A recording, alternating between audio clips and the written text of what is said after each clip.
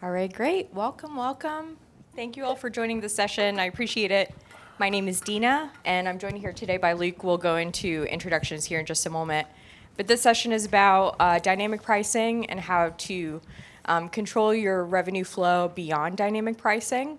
Um, so we'll just go ahead and get started. I'll start with uh, introductions and um, so again, my name is Dina. I'm a revenue manager with Beyond. Um, I've been with Beyond for a little bit under a year now. Um, probably the last 10 years of my life have been in the hotel industry. Um, so I first started out in operations. I, like you, probably um, wore many hats. Um, I was involved a lot with housekeeping, reservations, uh, sales and marketing as well, and um, and then I gradually went into um, sales. I was a director of sales and marketing for a little over three years and managed a team of 15 to 20 people at a time. And um, I think the biggest concern that we had was the empowerment of reservationists and sales. So um, they didn't feel comfortable with quoting people rates based on like low demand or quoting people higher based on higher demand. So, um, so we came up with a strategy to essentially um, set them up with a, a, rate range based on revenue goals so that they feel empowered to set their rates um, and also feel empowered to lower the rates based on the demand, as you all know. Um, and that strategy is still in place, um, so I'm very proud of that. Um, but then my VP of revenue was like, Dina, um, you are in the wrong position. You are into Excel spreadsheets and building tools, and uh, and yeah, you need to join us on the dark side. So I joined them on the dark side and I've been here since. Um, and then I joined Beyond, and I'm so in love with the vacation rental industry. Um, I have grown such a passion for it. It's so different than the hotel industry. Um, and it gives you that creativity to create those tools like I was doing, but then there's a dev team behind us to help us out and um, like put it in the tool and actually put it in place for our clients. So um, I'll pass it over to Luke so he could tell you a little bit about him as well. Thanks, Dina. Yeah. Uh, good morning, everyone. Uh, my name is Luke Kearns, uh, the general manager at Fall River Village Resort in Estes Park, Colorado. Uh, Estes Park, if you're not familiar with it, is a beautiful little mountain town of about 6,000, 7,000 people that balloons up to millions of visitors per year. It, uh, it's seasonal. It goes way up, way down, kind of everything in between. Uh, at the foot of Rocky Mountain National Park, so we're the, really the gateway to that. So. Um, every year. Last year we were at 4.2 million visitors for Rocky Mountain National Park. This year we're going to be at 4.5 every year, and those are big increases. So, um, yeah, I come from a traditional uh, hospitality background. Uh, worked with a boutique health and wellness resort for a number of years. Helped launch that uh, out of Malibu, California, and then um, a little while with the Four Seasons, and then um, ventured into vacation rentals, which is a little different.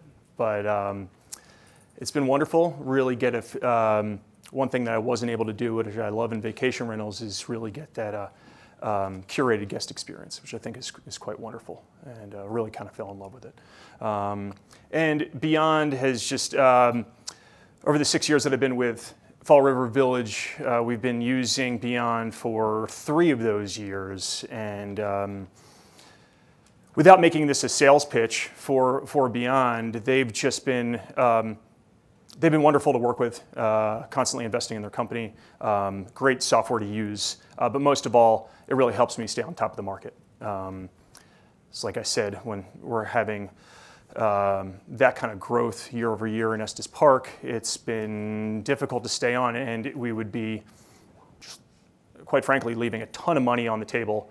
Not only a ton of money on the table, but beyond, you know, pricing algorithms go up for you and they also go down. But it, helps me stay on top of the market.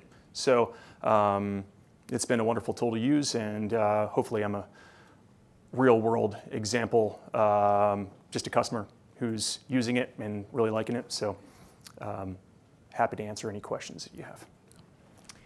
Yeah, and and like like Luke said, um, I figured it wouldn't be as cool if you just heard some revenue lady talk all day. He's a real world example. He's been a client with us, so um, we'll go through Dynamic Pricing 101. Um, I'll talk about what that's like, what the benefits are of it, um, OTA dynamic channel markups as well, we'll touch on. And, um, and then we'll get into LiveRez standard and add-on fees as well. And we'll leave questions at the end, but of course, I, this is super casual, so feel free to interject at any time to ask questions or if there's anything you want us to go a little bit more in depth into. So, cool. All right, so dynamic pricing 101. Um, I'm realizing more and more that not everyone utilizes dynamic pricing. Um, so if you do not already, I highly encourage you to do so. This is essentially an industry standard now. Um, the demand is changing. I think COVID is a really good example of that. The demand is changing consistently. Um, so what dynamic pricing is is you're um, establishing a difference between weekdays and weekends, um, apart from your seasonality, apart from different events. So if you have major holidays such as Christmas, um, Labor Day weekend, um, all of those factors are in place together, create dynamic pricing. Um, so with us, in an effort not to be too salesy, um, I wanted to go over some things that um, beyond highlights, um, because we know that you wear many hats, um, that you're not always setting pricing. Um, sometimes you don't have the time for that, and we understand that as well.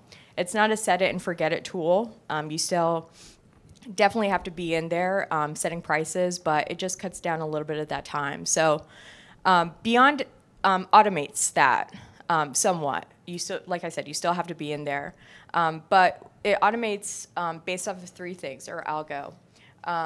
that is seasonality, day of week, and events. Um, and then, of course, there are some minor manipulations other than that as well. But those are the three main things. Um, and that helps us create um, accurate demand driven pricing for uh, your listings in particular, not just your market, but your particular neighborhood too. Um, it is very easy to use, so it's not rocket science. I think I, when I first started, I spent like all of 10 minutes in there before I realized what I was doing. Um, if something doesn't make sense, you could hover over it and um, it will give you an explanation of what it is. So all of that is in an easy to use tool for you. Um, as far as markets go, we understand that markets are all different. Um, and I think as a revenue manager, this is like the coolest thing for me because we all, the entire revenue team, hand creates these markets. So what I mean by that is we literally go into Google Maps and we grab a market and we say, hey, this seems like it would be a good market. We ensure that it has at least like 100, 150 listings so that the algo works correctly. Um, but then we create that polygon, we scrape all the data, and by scraping data, I mean um, scraping occupancy, availability, all that good stuff. And um, once that is created and launched, we set all the hyper local events and national events. So you have your larger events such as Christmas, New Year's, um, and then you have smaller events like festivals, Coachella, um, any type of festival that would have a demand generation in your market. And we launch it. Um, so all of this is looked at by our entire team of revenue, um, and we want to ensure that the data works correctly for your particular market. Um, as far as market data and insights, um, you probably have some form of this already. Um, but insights is what we use to look at prior year and future data. So you could get as granular as you want. You could go by month, weekly, or daily. Grab like May 15th. Um, you could see what your occupancy ADR was in the last two years, what it looks like for your future, and also what it looks like um, same time last year, so in the same booking period last year. So it could get super granular. I mean, it depends on how much you want to put time and effort into it, but it's all there available to you. So um, really, really cool stuff. Um, and also world-class support. So Claire, who's the manager of our team, um, I think she does a super good job we take pride in having a human aspect um, with our technical support. Um, we have a system in place so that if someone writes in with like a revenue question, that question is going to the revenue team. Um, and we're and it's being answered by the revenue team before the the customer manager writes back. If you have a question about product, it goes to the product team. So there's no bots or anything like that. Any there's no automation. Um, we believe in having that human aspect in place because we know the urgency um, of your properties or your listings, and we want to make sure that we answer as soon as possible. So um, yeah, so we take really good pride in that. I think for dynamic pricing, um, there's a lot of things that could go in place, and I'll let Luke kind of. So Luke, I know that you use dynamic pricing. What did you use beforehand, and what was your process like? Yeah, the process that we used before was, um, like you said, this has become pretty standard, but it was um, it was really fixed pricing, lack of a better term.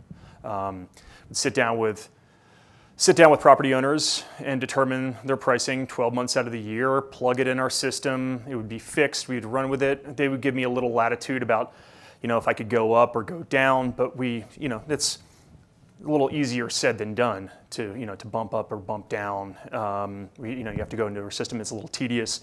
Um, and to, you know, to plug those new prices in. Um, but so that's what we, that's what we did before. And it was difficult to manage on the day to day because there are there's really are day to day swings. Um, like for example, um, Estes Park. It's not to start off with a, a, such a bad doomsday example, but we had last year exactly at this time one year ago we had to evacuate the entire town. We had devastating forest fires, the worst in history for Colorado. We had the worst forest fire, uh, wildfire in history, and then right next door to it, a few hundred miles away, we had the second worst. So I mean, people were like not exactly flocking to Colorado, right? Or especially to our area. I mean, Estes Park was on like CNN, right?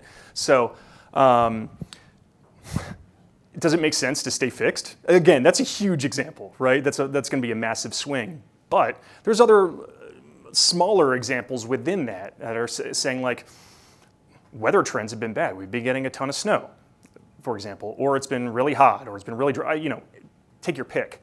Um, but I'm not going to be able to determine that when I'm, when I'm forming the budget in, you know, at the end of Q3 or whatever it's going to be.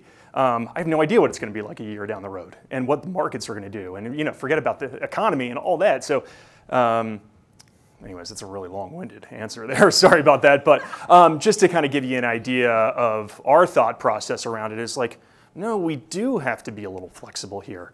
And to stay with this, stay with that fixed pricing, um, difficult to manage. And then also we just realized, um, I mean, the numbers are the numbers.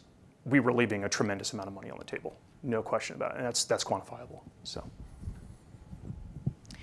And uh, I have a follow up question yeah. with that. How much would you say you spent on pricing before versus pricing now with Beyond? How much did we spend on pricing? Yep.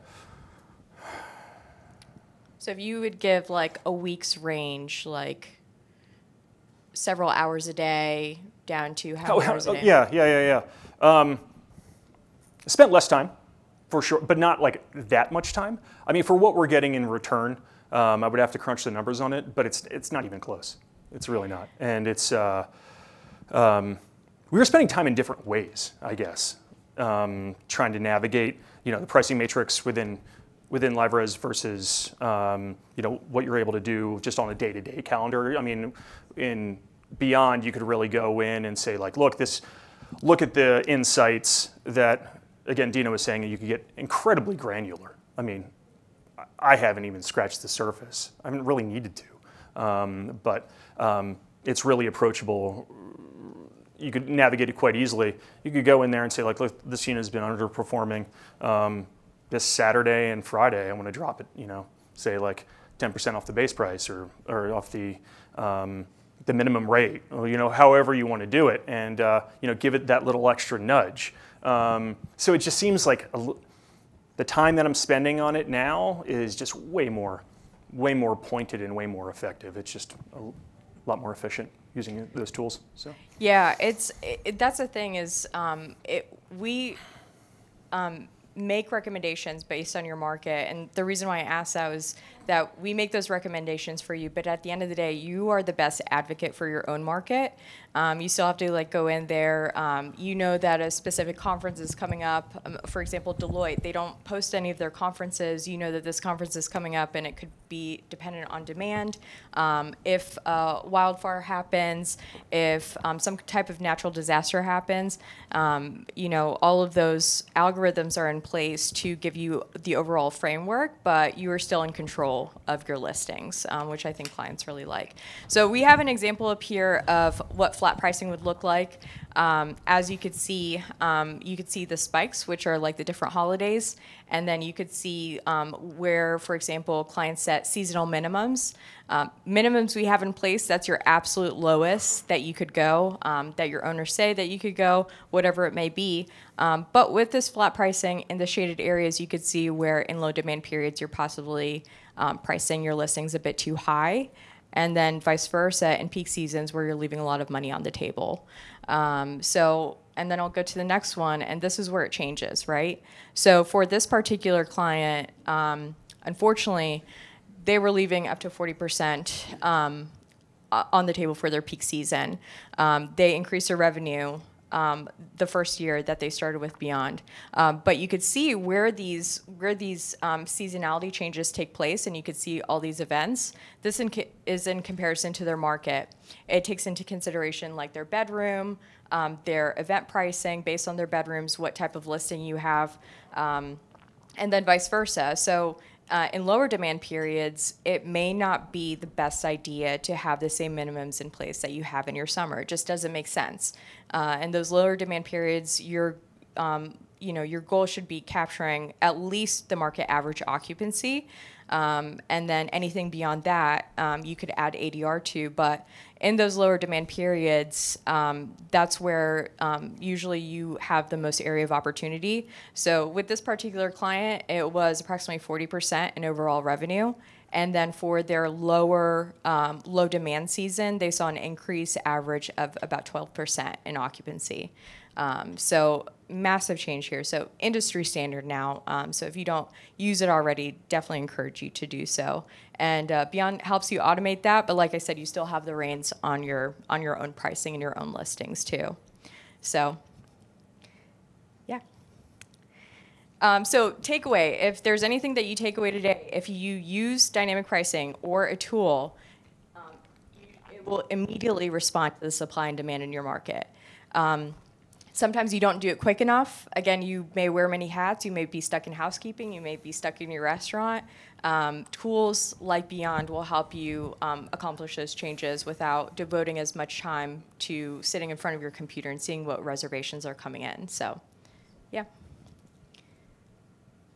Okay, so dynamic channel markups. This is a little bit newer.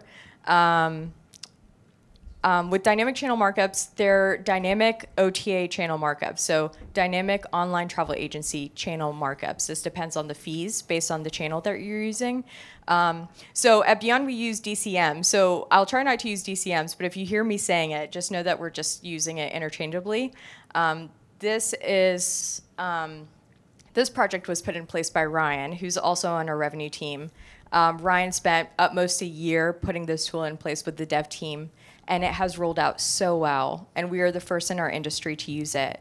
Hotels, airlines, they they already use it. Um, and so the vacation, it just made sense for the vacation rental industry to have that in place.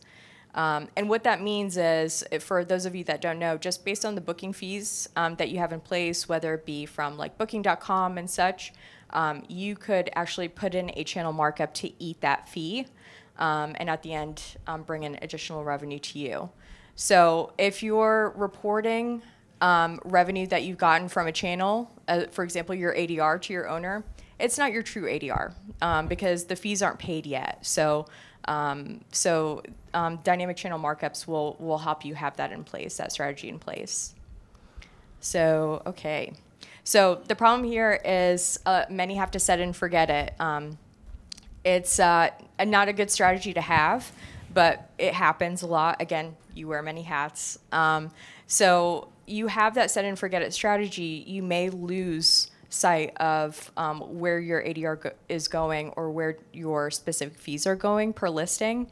Um, the utilization of markups is already an accepted thing. Um, you could um, change it based on lower demand, uh, based on higher demand. So I'll give you an example. For lower demand periods, um, it doesn't quite make sense to have um, a higher channel markup. You could probably eat a little bit more of that fees to capture the occupancy. And vice versa. For higher demand periods, you could completely turn it off and not have any third party reservations coming in and accept everything direct. Um, so it's completely up to you how you want to utilize that. Um, with the solution, um, it, it still it still um, responds to the the change in supply and demand, um, and it involves your revenue management strategy. Again, it's a little bit more granular just than just basic dynamic pricing, but it's essential, especially as your market becomes a little bit more competitive. More um, investors are getting in the uh, um, real estate and short-term rental industry. It's good to have these complex um, markups in place. At the end, it will be to your bottom line, and your owners are going to be happy about it. So.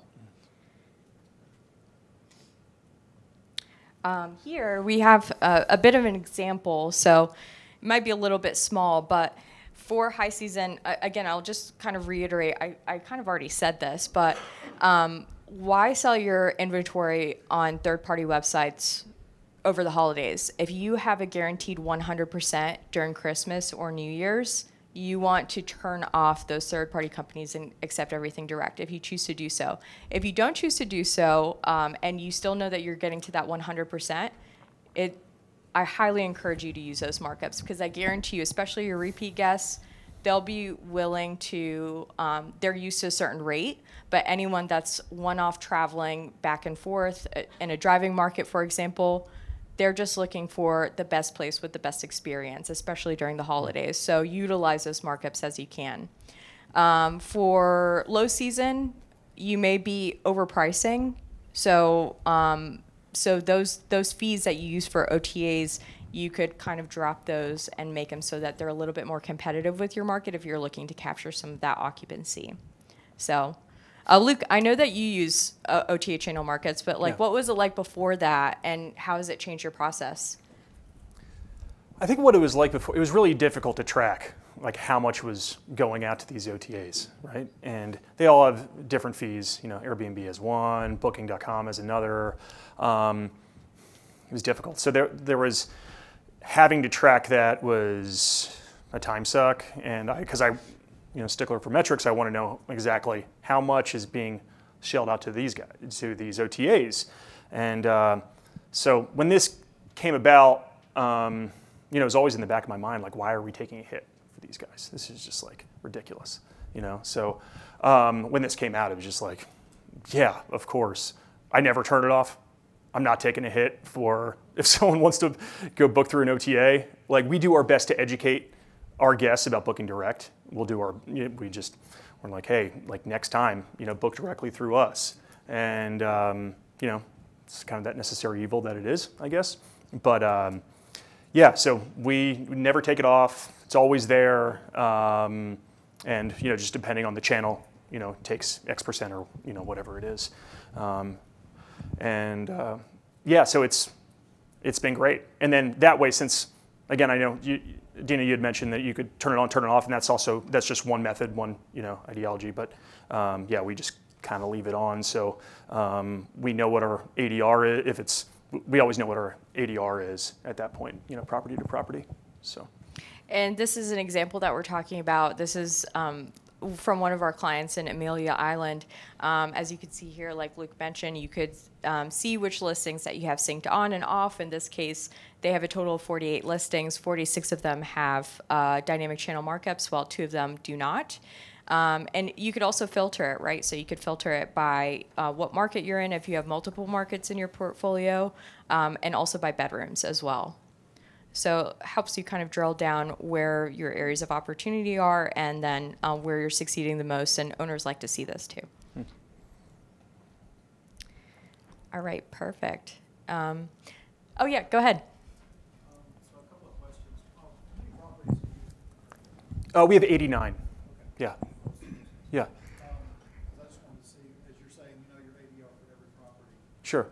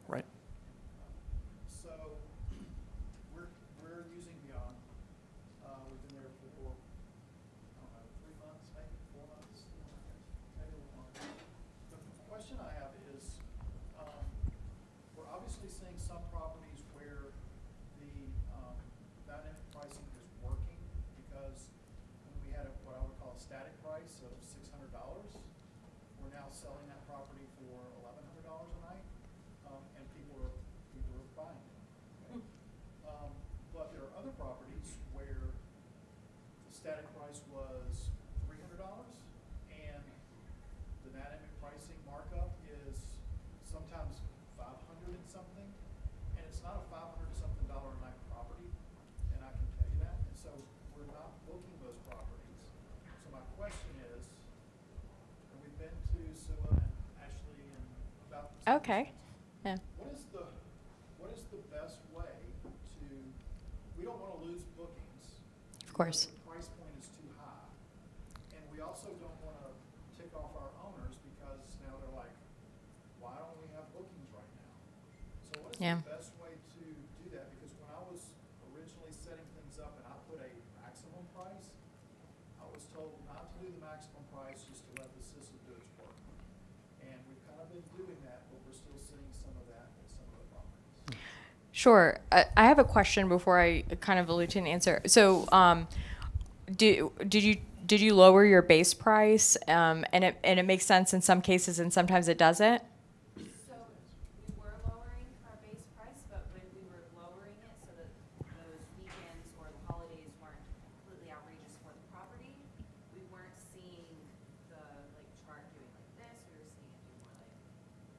So we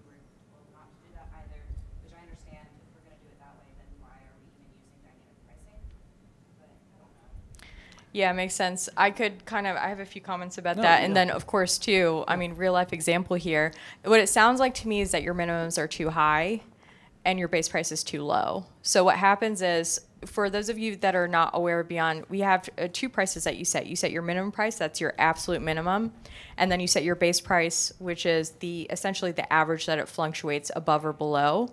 Um, if you see pl- flat pricing, that's an indication that your price um, may be uh, your minimum price may be too low. So what I would consider and what I tell uh, everyone that has that specific um, issue is to look into seasonal minimums, right? So in case in case you have like what is your minimum right now if you don't mind me asking? Um, really just depends on the property. Okay, so let's say like 200, right, for a listing. Um, if you have a $200 minimum, would you still consider that $200 minimum during lower demand periods? Or are you willing to go higher during higher demand periods? So we have an annual minimum in place, but then you could also, apart from that, set a seasonal minimum where you're willing to go slightly below um, during lower demand periods. Or you could have uh, a slightly lower minimum annually and set your seasonal minimum during your peak seasons a little bit higher to have it fluctuate. But it sounds like to me that flat line, that means that your minimum is see that your annual minimum is too high and your base price is too low. Did you have something else to add to that too? Yeah, no, I think those are those are all excellent points. Um, I was thinking just um, actually to a couple other of your questions or your comments that um, you know I think the number one of the biggest things to understand is like you know your properties better than anyone else, right? That's like that's really important to keep in mind. And I think I know speaking for myself, like when I came to Beyond, it was kind of like, wow, they're like with the algorithm and everything, it's just gonna like it's going to transform. And it did, but it, at the end of the day, you know, like I'm the boots on the ground. I'm the one that's there. Like, like you said, that's not a $500 a night property. That's a $300 a night property. And like, you always have the ability to override that, as you probably already know. Um, so I think that's just like always important to keep in mind that it like does a ton of work for us. Um, as a, you know, as a management company or, uh, or, or for the owners. But um, it- yeah, just really important to keep in mind that like at the end of the day, if you know it's not that kind of property and you have a hunch, set it at what you feel comfortable at. And then also the beginning stages at like three months, still kind of learning the system, I would imagine, right? I mean, it took me a very, very, very long time just to get all like, not because it's complicated, it's extremely user friendly, but there's a lot going on there. And, you know, to manage a, you know, 30 properties, 90 prop, whatever it's going to be, it just takes a little time. And I would, what I did for the first year is just like kind of mess around with it and throw something out there, see if it sticks, uh, and say like, "Wow, I struck out on that one, uh, struck out on that weekend for this property, and then you know another time, you know, take the information and then use your own know-how or use your own knowledge about the property to um, you know make the final say on it. Um, so again, I think it's a little bit more high level, but you know, um, I would just say just keep that in mind. That at the end of the day, you know, you have that intimate knowledge of your own property, and then um, take what Beyond is putting forth, and then it's a collaborative process, right? Go ahead. I have a follow-up question for y'all, which is, um, is your primary concern being overpriced that travelers won't book, or that you're setting inaccurate expectations that it's a five hundred dollar night kind of property? Because we do have, I, I mean, yeah, so I've got owners that are calling me, they're saying, this is too high for my property, they think it's too high. Um, I've got owners that are ecstatic about that, the price that they're getting. Um, but I've got some owners that are basically saying, we're normally booked here and we're not. And, and I'm like, well, let the, let process because according to the research, which I've never done before, it's going through beyond that we did the research. According to the research, we didn't start booking here until about forty-five days out. So we're not quite forty-five days out, and we're seeing if it's gonna book at a higher price, and then we'll start bringing that price point down. But then there's some properties, like she just told me, we booked this property and it booked at five hundred and thirty dollars a night, and I was like, no way. Because I know when that customer walks in, they're going to be like, I paid five hundred for this property, and that's not gonna work for us. That becomes a branding issue back to us, as far as, and a, and a trust issue. So I'm not gonna, But is it like during high season, season, like very high demand, like Christmas, for October? yeah, it's during our leaf, our leaf season, which is, a- which is, our leaf season weekends are very peak for us, so. I, like, I just started about five months ago. I mean, I'm getting rates where I'm like, holy cow. Right. It's crazy, but, you know, I get like a thousand dollars a night for Christmas, and I used to have like four hundred, four fifty, that's what I did. But it's Christmas, there's nothing out there, and that's, I mean, the system is comparing the area, and if there's nothing left, And I think you gotta put it through COVID, though, the demand on the system Oh, yeah. yeah, and everything, with the customers and the demand. I'm seeing record demand for things, and like, just like you said, I've got properties like, well, I died myself. you're not And people are just like, you have the picture. something I've gotten at once, I'm gonna do it. Like, the system does something that it was supposed to do, and it brought us to our dollar, but at the same time, what are we supposed to say to these guests when they walk in, and be like, "Hey, excuse me, what is this for five hundred dollars? But you have pictures, no, and the pictures were. Throw in the compliment, throw in something, give,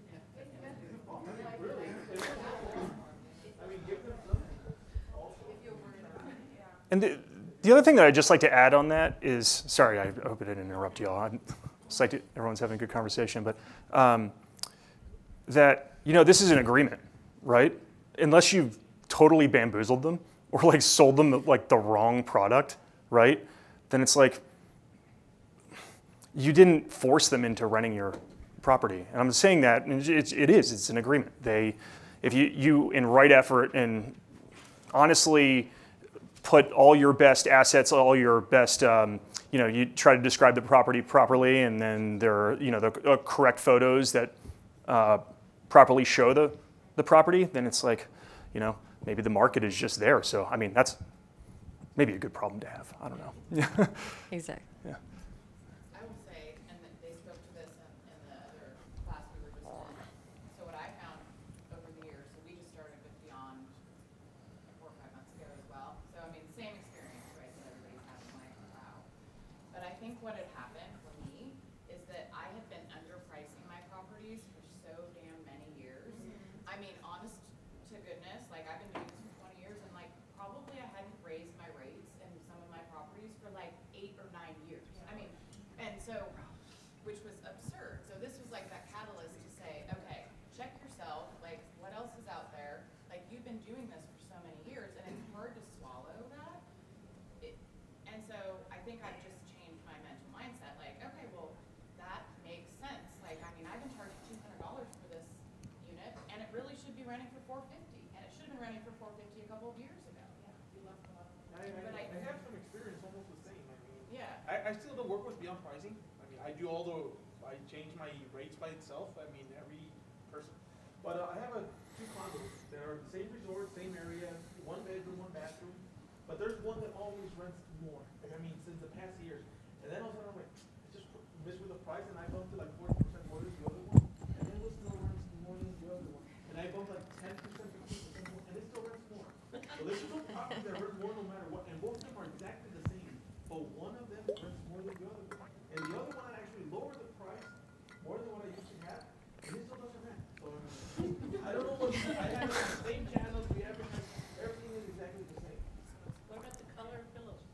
Right, exactly. So to, that matters. Sometimes, I mean, But in that respect, I'm sorry, Crystal had asked her, like in off season, you know, when I didn't have no bookings, um, now it's booking but at a very low price, you know, like three hundred instead of a thousand dollars a night, so. But it's, I'm getting at least a little bit of bookings and, and nothing, so, and that's what also the owners need to understand, hey, you know, sometimes you'll see very low rates, but then in high season you have the, the higher thing, but hey, better than having the, the empty. I love that. And the point that you bring up, uh, you brought up too, is changing your mindset. And you had mentioned something. You are aware of lead time of your properties. And I'm a major advocate for lead time. Many times owners don't really understand the concept of that. Um, so, what you're doing with your lead time, for those of you not aware what lead time is, it's your average time that your bookings come in, right? So, if your average booking lead time is 45 days out, you should not be decreasing your rate before that. You should not at all. If you want to play around with the rate, increase the rate just like others said. Sometimes you do have to change that mentality. And then at the end of the day, if it doesn't work, you could try a different strategy. But I think changing your mentality, and it's based on supply and demand, you may get a booking that it would be much higher than than you have. And then if not, I know other beyonders are gonna cringe at this a little bit. You are still in touch with your market. You know your market best. If you get closer and closer, there's always manual overrides in place. There's also discounts in place. Um, so Beyond doesn't take away those reins from you. You could still charge the rates that you want. But I highly encourage you to the thing is sometimes when you book too low you book up too quickly so the next year um, when you have those higher adrs your booking lead time is going to go further out because they're trying to cap the algo is trying to capture those clients who are willing to pay more for your property rather than joe who's only willing to pay a quarter of what you price it for if that makes sense. So really good conversation here.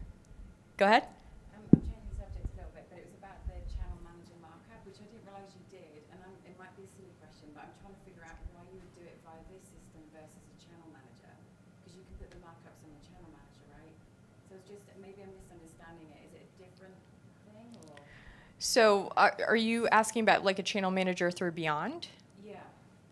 got it got it Channel manager markup thing, which I don't think we're Yeah. utilising, we looked at our system, looked like we Relay? need to switch it on relay.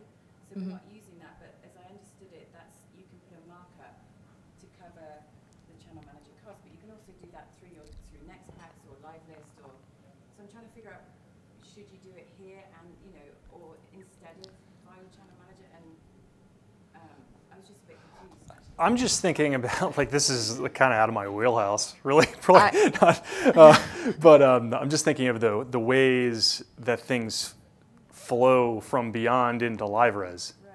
and maybe being that it's a direct stream from pricing and beyond to LiveRez is I don't know. I, I actually, I have to admit, I'm not quite sure. Is there anyone here that has experience? Go ahead. Uh, to my knowledge, there are no channel managers currently that offer dynamic channel markups, so you can mark up, right?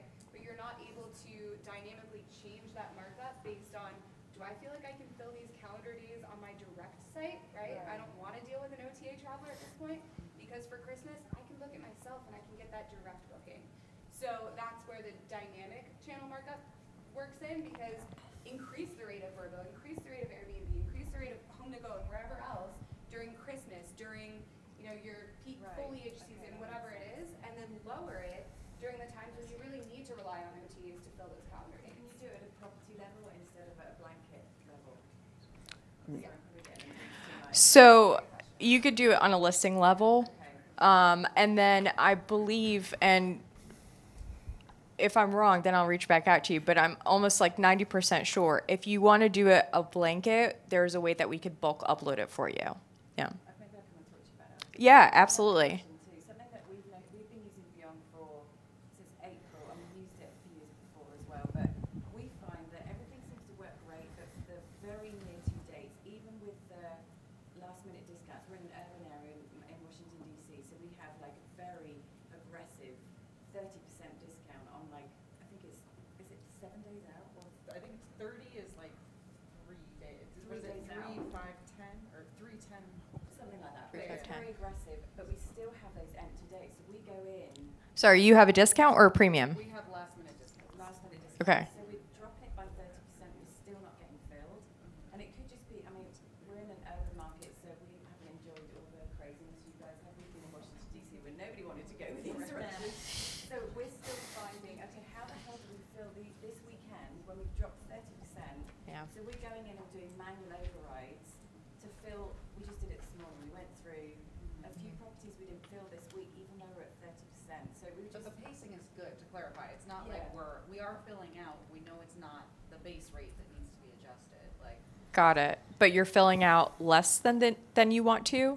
No, I mean, we're filling out fine, it's just that the Okay. last minute don't seem to be, um, we're still losing these dates, like. there Got it. You know, last minute But it feels reservations. scary to yeah. drop below, you know, thirty-five, forty percent. Well, yeah, of course. I do fifty-five yeah, you, Okay. you have minimums in place too, last minute Yeah. discounts will never. It will never fall below Never those go below minimums. that, Yeah. And we do, when we do that, we do override and lower that, because we're like, we gotta get this in now. Got it. And that then says that you have Well, wiggle room that's to a go whole below the minimum. Yeah, yeah, yeah. And I'd be interested, I could talk to you after. I'd be interested to look at some of your insights in particular um, because that's not a case that I often see. So maybe we could look at it a little bit further after and I can make some recommendations. Yeah, good questions. Anything else? Go ahead. I think you said something about uh, withdrawing your listings from OTAs so you could book them direct over the holidays? Yeah, so um, if you have repeat guests or you know that you're going to hit that 100% mark, um, very common in both the hotel industry um, and the vacation rental industry. Now, Luke, for example, he doesn't turn his off, but he increases it more for holidays. So you could either choose to increase or turn it off altogether so that you're not paying those fees. Does- Does that make sense? Yeah. Mark? Yeah, I just want to speak really quickly to, uh, to you in the back. So completely understand if you have owners that, or, or guests where you, you're afraid to potentially put them into a unit for five hundred a night if it's really a three hundred a night unit. Dina talked about being able to set seasonal mins. You can set seasonal maxes too. Um, so we don't have a ton of clients that do that because obviously they're looking to get top dollar, but you do have some owners that are a bit reticent to charge too high. So you do have the ability to put in floor and ceilings. Perfect. Love it. Love it. Okay, I'm gonna hop into LiveRez. Um, LiveRez has some great um, different add-on fees and um, standard fees that you could have in place. Um, so this is an example of a client who has several fees in place. Um, I think they have a variety of um, I, I don't know where Jessica is, like over 120 different fees um, based on their listings and based on different things. Um, so what the standard fees are is these are the fees that are rolled into the rent prior to you sending it to the prior to the owner statement. Um, it's considered hidden, so the clients don't see it. Um, and we highly recommend having these fees in place. Again, big um, industry standard now. It's well accepted among several short term vacation rental owners. So if you don't have fees like this in place, I encourage you to do so. This includes like trash pickup, um, any anywhere where you feel like there's some costs in place um, that offsets your bookings or that you have to pay. um, would encourage you to put it in place. I know with several clients, they have, which I'll go into, it's not so much standard fees, but I'll go into like upgraded services as well. I was just in a session yesterday um, where I heard that they wanted to dig into a listing even further because they couldn't figure out why it was being booked so much. And it turns out, and it was a, a beach market, it turns out that they were selling those listings more if they had a blender included or for the listings that had blenders included, which is crazy to me. But you you you look at these different add-ons that you could have in place and you could charge premium for it um, if you know that you have certain things like um, gift packages like you were talking about, um, anything that you feel could scale the revenue per booking, would encourage you to do so. And LiveRez makes it super easy. Um, yeah, yeah, definitely. And anyone here from LiveRez, correct me if I'm wrong. So there is a cleaning fee. Um, so I'll start from the top. So the convenience fee, obviously, the cost of the booking fee.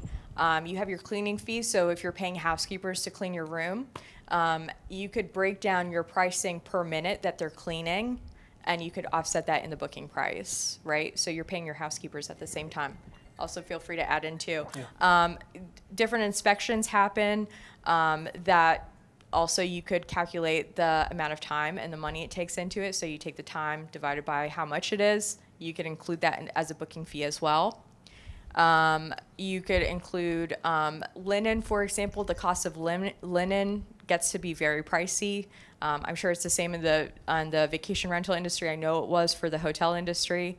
Uh, trash pickup from the room, from the property as well, um, as well as any specific things that you do for arrival. So if you have a, a um, some type of package uh, in place for arrival, your reservationists, um, all of those you could break down into like minute little fees that you could have in place. Jessica, oh, oh, perfect. Okay, looks like we're running out of time, but I'll, so I'll try to speed it up. Does that kind of answer your question? So Jessica, do you have do you have uh, the different acronyms? So I know ADP is probably like um, like different inspections in place as far as um, COI and CFO. Jessica, do you know what those acronyms stand for? I actually don't offhand. Sharon, do you know that? No, so this is just like a specific company that, these are all fees that they include in the rent. So if there's anything that you guys are paying for that isn't being charged to the guest or the owner, it's coming from your management fee. So these are all just, these are, these are, um, overhead expenses that this company has.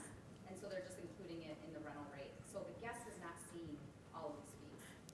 So does that make sense? You could you could customize the different fees that put in place, and this particular client or account has those fees in place. They just named it what they choose. And I think the important thing to recognize, kind of piggyback on what um, Sharon was just saying, is that um, you see these, the guest doesn't see it, right? So that's important. So it's like you know where the money is going, but you know, for them, it's like for, for me, like when I travel, I'd like just roll it all up, just tell me what I got to pay, right? Um, and you are doing that basically, but you also have you're able to see on the back end, um, you know, it all broken out of where the money's going. So. So things, and I think we already touched on this, so I'll be really brief, but um, things like grocery deliveries, um, um, different beach packages that you could put in place, like beach chairs, um, paddleboard rentals. All those are industry standard that, standards that are used now. So see what's in your market, see the different packages that are available in your market, and you could use that to set premiums to the rates that you have in place and ultimately scale your revenue. Um, uh, in particular with a LiveRez client, they started um, charging for beach chair rentals, and they saw a forty-five thousand dollar increase within the first year just from beach chair rentals. So it's clear that it works. Um, it's nothing to like sit and scope whether it's worth it or not. It's very worth adding these types of premiums to your listing. So, um, oops, I went back. So takeaway here is implement implementation fees for your strategy. It scales your revenue per booking, like we discussed, and it allows guests to customize their experiences during your stay. You could have a communication plan in place to send them an email about these different options six months prior, then again like uh, two months prior, and again again a week prior. So you you make those um, choices um, with what you see best. So. um, yeah, that's it. I believe. Is there any questions? It was a really good conversation that really helped us too.